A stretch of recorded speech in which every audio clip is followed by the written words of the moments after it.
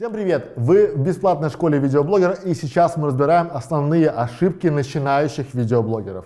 Мы уже прошлись по некачественному звуку, мы пробежались по некачественному свету и сейчас я бы хотел обратить ваше внимание на плохой задний фон.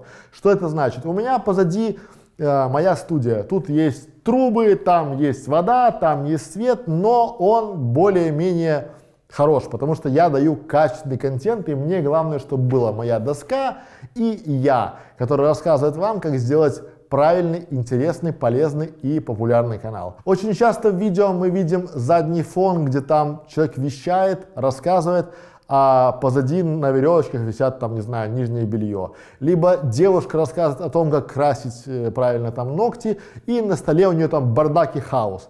Это все дает некий антураж, и это все очень важно, потому что э, тот, кто смотрит ваше видео, он оценивает все в совокупности. Ему уже есть чем сравнивать. И если какой-то бьюти-блогер рассказывает в четкой квартире, где есть все убрано, белый фон, цветы в вазе и сидит, рассказывает на э, красиво э, сделанном интерьере, подобранном под нее, там, да, и у нее хороший макияж, хорошая прическа, это одно. А когда девушка или парень сидит на кровати, там, разбросанные волосы, или там, типа, о, привет, как дела, извините, там, я не смогла убрать, там, туда-сюда, это другое, и аудитория будет понимать, по фану это будет заходить, но недолго. Очень скоро всем надоест. Особенно, когда люди едут в машине, рассказывают, что-то вещают, у них там позади какой-то бардак. Я понимаю, что, в принципе, человек